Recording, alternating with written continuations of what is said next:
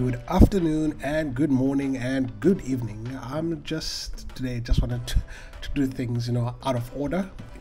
Even though uh, the purpose of today's video it is about order actually after all in today's video we're going to be listing 10 essential items that you as a tourist you may need the moment you arrive in cape town especially if you're coming from overseas. Um, because you know everywhere you go there's always those things that you wish um, you knew before you even came here and especially when it comes to packing things or actually how things work the moment you get into the country. So without any further ado let's start the video.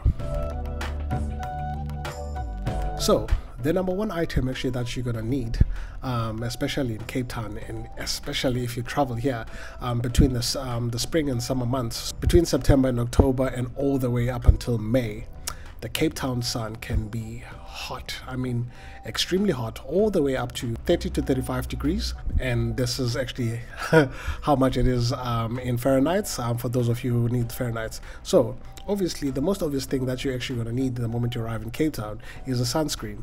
You know, Cape Town has a Mediterranean climate with hot summers, so a sunscreen with high SPF is essential to protect your skin from harmful UV rays.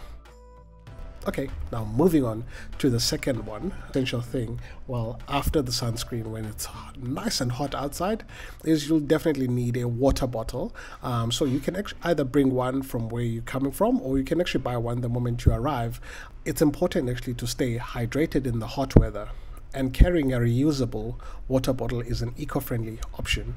Um, also, again, just as a side note, um, it is actually completely safe to drink tap water in South Africa, especially in Cape Town. So please um, do not be afraid. So if you're really thirsty and you need to, if you want to drink water, um, actually tap water is actually quite safe to drink. So and now on to the third one. Basically, you know, you're carrying all these electronics, um, they all need to be charged up. So the next actually item that you're going to be need, which is essential, um, is basically a type M plug, which is a South African plug. As you can see here, it has the three points, uh, almost look like a, a, different version of the British one, but you know, this one is rounded. It's the type M plug. Like the South African uses the Type M plugs, which are different from those used in many other countries. So a travel adapter will allow you to use your electronic devices without any issues. Um, another action thing that you need to remember is that in South Africa, the electricity frequency is 50 hertz like most other countries. I think actually it's the US and a few countries that uses a 60 hertz frequency. Um, and also our voltage is at 220 volts. But again, luckily in this day and age, actually most electronic devices are able to cope with anything between 100 all the way to 220 volts. And they can actually even switch in between the 50 and uh, 60 volts. So yeah, again, there's no need to worry about that. But if you're using a very old or a very precious device, please make sure that you're using the right type of a charger or charging brick um, just to make sure that it can cope with the different voltages, you know, and frequencies. So, yeah. And then obviously, so now with the fourth item basically is that Cape Town has many hills and outdoor activities. So shoes, especially comfortable shoes like sneakers, are essential in the city um, because you'll be doing quite a lot of walking around as you're exploring Cape Town and again being on the road. so moving on to number five, you'll need an insect repellent. You know, um, especially in summer, mosquitoes and other insects can be quite a nuisance, especially during the hot summer months. So, an insect repellent will help to keep them at bay, um, you know, just to make sure that you're enjoying Cape Town basically with showing a little bit of skin as you're walking around. And then moving on to item number six, you'll definitely need a hat. So, you know, a wide brimmed hat will protect your face and your neck, you know, from the sun's rays and keep you cool. Um, especially if you're at the beach or you're just walking outside. This is also will make sure that you get you don't get any skin burns. Okay. And now moving on to lucky number seven. That's actually my favorite number or my lucky number. Number seven. So basically, uh, here you'll definitely need a light jacket or a sweater because Cape Town, especially in the evenings, can get chilly. So it's always a good idea to bring a light jacket or a sweater with you in the bag just in case it gets windy or a bit chilly, and especially if you're around the beach area or the waterfront. And number eight. Exactly. Okay, this one is like literally a very basic one that you'll definitely need uh, you to bring your camera.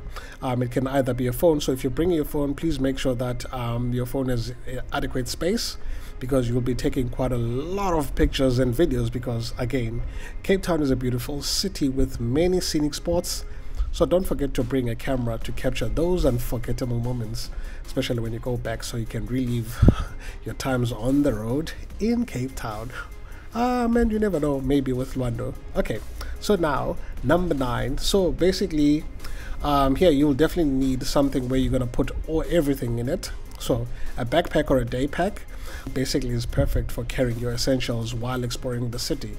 Also, if possible, please make sure that you have a backpack where it's um, some of those secured ones, where someone who's walking behind you cannot easily just open your bag. In case, for example, you meet pickpocketers, which is very unlikely, but yeah, you just never know. Again, always be vigilant wherever you are. And again, last but not least, you need to obviously um, bring your cash or debit cards. So make sure at least you have a little bit of cash, especially if you want to pay something like, for example, on the streets, because as some street vendors might not have, for example, your electronic devices to capture your payments, so they might need cash. Or, for example, you want to tip um, at the restaurant or wherever that you are, but please do not carry any large amounts of cash. South Africa is actually quite, we use use quite a lot of electronic payment systems. So definitely you'll never lack any wherever you go basically especially in restaurants or shops um, they all do accept cards. Um, again please be mindful if you're using uh, an american express or diners cards some merchants actually do not accept those. So please be mindful um, when it comes to that one. And again a bonus one and another thing that you actually need to bring in cape town basically is your smile. You know, because when you're here, you'll meet some of the friendliest people you'll ever meet wherever you've been. So yeah, you just need to be smile and respectful and definitely, literally enjoy your time. So yeah. If you have enjoyed this list, um, you know what to do. Please make sure that you like this video. It definitely does help a lot to make sure that it reaches other people and obviously to subscribe so that you do not miss any of the content that I'll be bringing to you, as there are a couple of more episodes that are coming um, almost on a weekly basis. But yeah, please stay tuned and stay safe.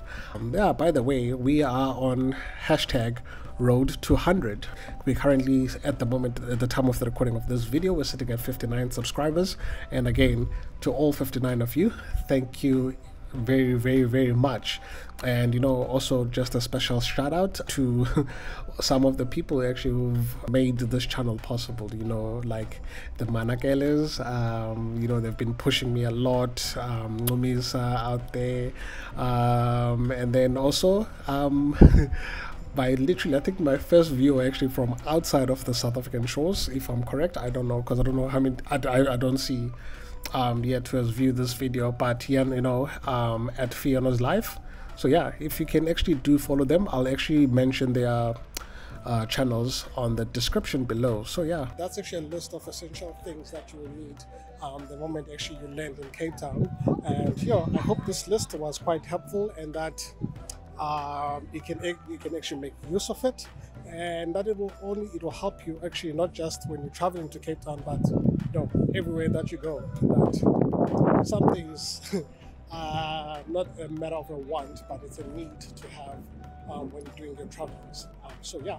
So my question basically for you this week is um, have I forgotten anything on this list?